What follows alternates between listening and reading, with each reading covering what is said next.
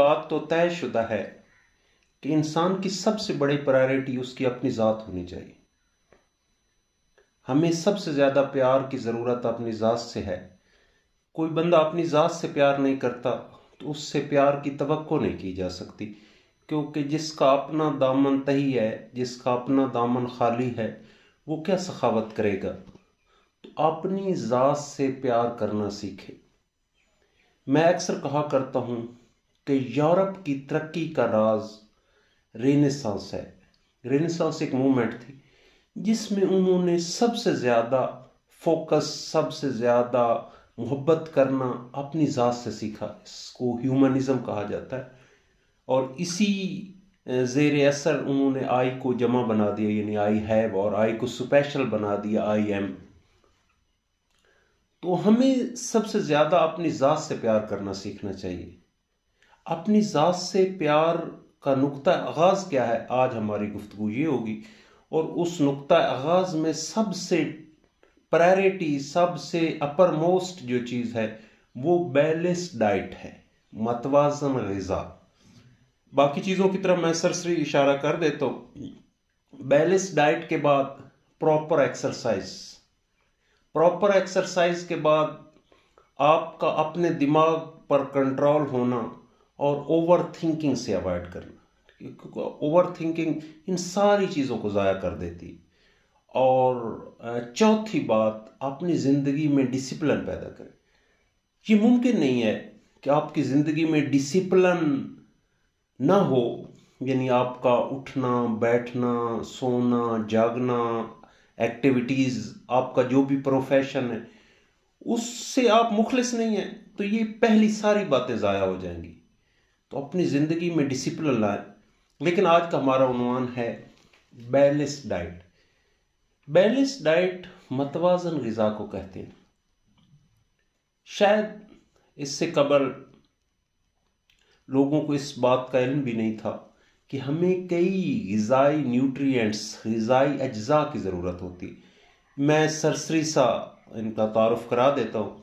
सबसे पहले हमें कार्बोहाइड्रेट की ज़रूरत होती है। कार्बोहाइड्रा, कार्बन और hydra H two O C H two O लेकिन मैं सादा लफ्ज़ों में आपको समझा दूँ, मीठी चीज़ें मीठी चीज़ें कार्बोहाइड्रेट यानी मीठी चीज़ों में अनाज आता है, गंदम, चावल, मकई या मीठी चीज़ें जैसे चीनी है। ये सारी चीज़ें जो हैं, ये कार्बोहाइड्रेट होते हैं। अच्छा हम कोई भी गज़ा खाते हैं, हमारी एनर्जी के लिए उसको एंड पर ग्लूकोज में कन्वर्ट होना होता है और ग्लूकोज कार्बोहाइड्रेट है। तो यानी बेशक हम प्रोटीन खाएँ, बाकी गज़ाएँ खाएँ, वो जब हमारी बॉडी को जो नीड होती है, वो ग्लूकोज की होती है, क्योंकि ग्लूकोज से रेस्परेशन होती है एनर्जी पैदा होती है, यानी रॉ मटेरियल ग्लूकोज है। तो हमें मुनासिब मकदार में फ़ौर जो हमें ज़रूरत एनर्जी की होती है, वो कार्बोहाइड्रेट से पूरी होती है। जैसे आपका दिमाग थका हुआ तो आप कोई मीठी चीज़ कहते हैं, खाओ। क्योंकि दिमाग को इमीडिएट जो सोर्स है फ़ौरन सोर्स है, वो मीठी चीज़ होती है कार्बोहाइड्रेट्स तो कार्बोहाइड्रेट सादा लफ्ज़ों में याद कर लें, मीठी चीज़ें अनाज चीनी वगैरह, ये सादा लफ्ज़ों में। इसकी हमें सबसे ज़्यादा ज़रूरत होती है और फ़ौर ज़रूरत होती है। बाकी चीज़ें आहिस्ता आहिस्ता कन्वर्ट होती अच्छा जी कार्बोहाइड्रेट के बाद प्रोटीन होती प्रोटीन प्राइमरी लफ्ज़ से निकला आसान लफ्ज़ों में गोश्त, यानी हमारी बॉडी में, हमारी सारी बॉडी प्रोटीन है। लेकिन ज़्यादा आसान याद रखने के लिए गोश्त प्राइमरी गोश्त हमारी ज़रूरत है। प्रोटीन के बाद हमारी ज़रूरत होती है लिपिड्स चिकनाई, जिसमें घी, तेल वगैरह, चिकनी चीज़ें, ये भी हमारी बॉडी की ज़रूरत होती है। कार्बोहाइड्रेट की नस्बत इनमें डबल इनर्जी होती है। बहुत इनर्जेटिक होती हैं और हमारी ज़रूरत भी है, लेकिन इसके साथ मैंने पहले आपको मेंशन किया एक्सरसाइज का होना कंजप्शन भी होनी चाहिए। उसके अलावा वाटर तो आपको पता ही है वाटर भी हमारी बहुत बड़ी ज़रूरत है। इसके साथ मिनरल्स होते हैं। मिनरल माइंड से निकला है। मादनियात आम ज़ुबान में जो ज़मीन से चीज़ें निकलती हैं, जैसे आयरन है, कैल्शियम है। अब कैल्शियम जो है, वो हमारी हड्डियों के लिए ज़रूरी है। आयरन जो है, वो हमारे ब्लड में जो हेमोग्लोबन होता है, रेड ब्लड सेल, उसके लिए ज़रूरत है। तो मिनरल्स भी हमारी ज़रूरत है। पहले मैंने बता दिया, कार्बोहाइड्रेट आप हमेशा हासिल करते हैं, मीठी चीज़ों से, प्रोटीन, गोश्त वगैरह से। और लिपिड्स जो होते हैं वो चिकनी चीज़ों से आप हासिल करते हैं। मिनरल्स जो हैं वो ज़्यादातर ज़्यादातर रेड मीट में पाए जाते हैं। यानी सुर्ख गोश्त जो होता है, बड़ा गोश्त उस कह लें यानी ये ब्रेलर वाइट मीट होता है, रेड मीट नहीं होता। तो रेड मीट में ज़्यादा मिनरल्स कलेजी में बहुत ज़्यादा होती हैं। तो ये इसके लिए कलेजी और बीफ वगैरह का इस्तेमाल ज़्यादा करना चाहिए, या देसी मुर्गा जो होता है। अच्छा उसके बाद आते हैं विटामिन। विटामिन होते हैं वाइटल फॉर लाइफ। तफसील में जाए तो बहुत लंबी बात हो जाएगी, मैं सरसरी सा, सादा अंदाज में समझा रहा हूँ। विटामिन वाइटल फॉर लाइफ, जो ज़िंदगी के लिए बहुत कीमती होते हैं। इनकी मशहूर इकसाम है ए, बी, सी, डी, ई, के। फिर आगे बी की टाइप है, बी वन, बी टू, इस किस्म की। तो ये विटामिन होते हैं। विटामिन का सबसे बड़ा सोर्स जो होता है वो फल होते हैं। तो आपको फल खाना चाहिए, उसमें तकरीबन सारे होते हैं। हर विटामिन का कोई ना कोई रोल होता है, जैसे विटामिन ए का आँख से ज़्यादा ताल्लुक होता है डी का हड्डियों से ज़्यादा ताल्लुक होता है सी का आपका इम्यून सिस्टम और ये स्किन कलर वगैरह जो होता है, अगर आप विटामिन सी यूज़ करते हैं तो आपकी स्किन अच्छी रहती है इम्यून सिस्टम स्ट्रांग रहता है, वगैरह वगैरह। ये तफसीलात में हम नहीं जाना चाहिए। नहीं, इनका मेजर सोर्स फल होते तो अब बैलेंस डाइट का मतलब होता है कि आपकी गज़ा में अनाज, मीठी चीज़ें भी होनी चाहिए, आप गोश्त भी यूज़ करना चाहिए, उसके अलावा घी वगैरह ये भी हमारी ज़रूरत है। इसके अलावा हमारी जो है वो बीफ वगैरह रेड मीट भी हमारी गज़ा में होना चाहिए। और इसके अलावा हमें फलों का भी इस्तेमाल, फलों और सब्जियों का इस्तेमाल भी करना चाहिए। तो ये एक मतवाजन गज़ा है, यानी आपका मेन्यू वन वे नहीं चलना शुरू हो कुछ लोग होते गोश्त खाना शुरू करते तो वो वन वे शुरू कर देते। अच्छा विटामिन के अनुमान से मैं एक छोटी सी बात आपको बताता चलूँ कि विटामिन दो किस्म के होते हैं। एक वाटर साल्यूबल होते हैं एक फैट साल्यूबल होते। हैं अच्छा फैट साल्यूबल ज़्यादा नहीं लेना चाहिए क्योंकि वो, उनकी कंजप्शन इतनी ज़्यादा नहीं होती। एडिक ए डी ई के लेकिन जैसे विटामिन सी है, ये वाटर साल्यूबल होते, ये ज़्यादा भी ले ले तो कोई प्रॉब्लम नहीं होता। बैलेंस डाइट में एक बात का ख्याल रखें कि कोई कोई भी न्यूट्रिएंट कोई भी गज़ाई जो ओवर हम यूज़ करते हैं और हमारी बॉडी लेजी है, हम स्लगिश हैं, हम सीडेंट्री सीडेंट्री कहते हैं जो बैठे रहते हैं। ये बड़ा जहर कातिल होता है हमारी बॉडी के लिए। तो अपनी गज़ा में बैलेंस डाइट लाजमन शामिल करें। और बैलेंस डाइट में बिलखसूस फ्रूट हमारे घरों में मामूल नहीं होता। मेहमान ही लाते हैं तो फ्रूट का इस्तेमाल करें। और बाकी ये फास्ट फ़ूड वगैरह, इनसे अवॉइड करें और मुतवाजन गज़ा खाएँ। हर किस्म की गज़ाएँ यानी आपका मेन्यू चेंज होना चाहिए। तो इन शजीज़ आप इसके असरात देखेंगे। अच्छा आज मैं आपको एक छोटी सी बात बताऊँ। हमारे बॉडी में एक अम्यून सिस्टम होता है। अम्यून सिस्टम दिफाई निज़ाम, यानी हमारे जिसम के सोल्जर्स होते हैं, सिपाही होते हैं, कोई भी फॉरेन पार्टिकल यानी कोई बाहर से कोई चीज़ भी जाती है बैक्टीरिया जाए वायरस जाए केमिकल कोई जाए, जिसकी हमारी बॉडी को ज़रूरत नहीं है तो उसके खिलाफ ये सिपाही इन कभी हम वाइट ब्लड सेल की भी आगे कई टाइप्स हैं तो वो हमारा फ़िलहाल टॉपिक नहीं है तो ये हमारा दिफाई निज़ाम। हम ये जरासीमों से, ये वायरस से, ये इन चीज़ों से कभी नहीं बच सकते। इसका एक ही हल है कि हम अपनी फौज स्ट्रांग करें। दुश्मन से हम नहीं बच सकते, आप बैक्टीरिया से हम नहीं बच सकते। वायरस तो इतने बरीक होते हैं कि ये हमारी बॉडी को भी क्रॉस कर जाते हैं मेम्ब्रेन से भी गुजर जाते हैं। तो इसका एक ही सलूशन है कि हमारा इम्यून सिस्टम अब देखें, ये कैंसरस सेल होते हैं, हमारी कैंसर जिसको आप कहते हैं।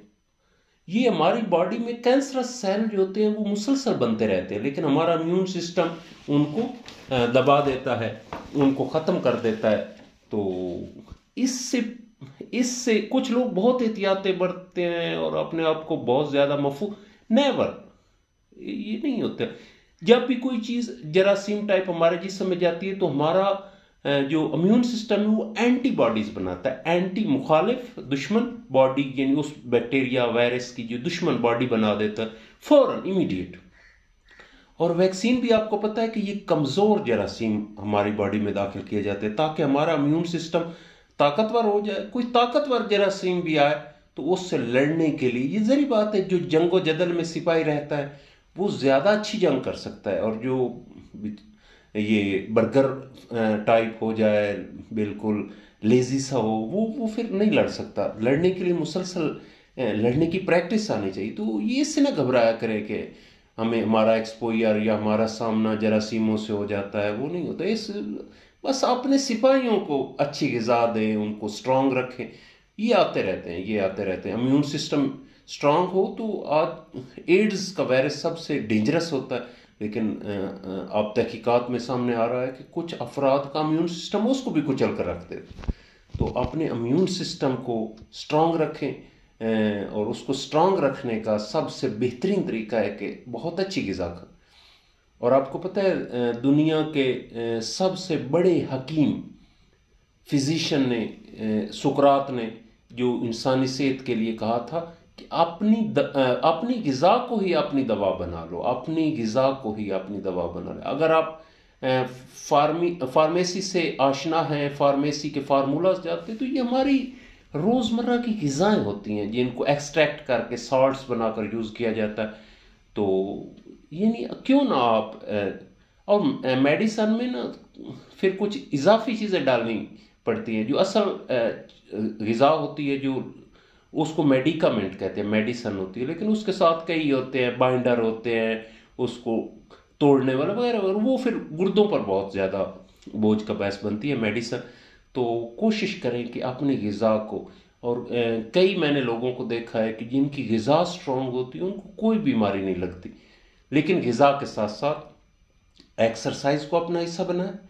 और थोड़ा सा मलंग मिजाज बन जाए। ये दिमाग आपको इसको सर्वेंट समझे। पॉजिटिव कामों के लिए इसे यूज़ करें। ये जो आप तखमीने लगाते रहते हैं, कई कई सालों में वो होगा तो ये होगा। हालाँकि ये भी कंफर्म नहीं है कि आपने उस टाइम तक ज़िंदा रहना है या नहीं। तो ओवर थिंकिंग को बिल जबर कंट्रोल करें। ओवर थिंकिंग को कंट्रोल करने के लिए आपका मसरूफ होना पॉजिटिव एक्टिविटीज़ होना कोई शुगर पालना हॉबीज़ होना और फिर थोड़ा सा अपने ऊपर कंट्रोल भी होना कि आप ना ज़्यादा सोचें एक्सरसाइज करें और एक अच्छा डिसिप्लिन लाइफ गुजारें। डिसिप्लिन का मतलब है आपके पास पैसा शैसा भी होना चाहिए, आप अपना प्रोफेशन में हार्ड वर्किंग भी हो, शोहरत भी हो, इज़्ज़त भी हो तो ये सारी चीज़ें मिलकर आपकी शख्सियत को बहुत स्ट्रॉन्ग करती हैं।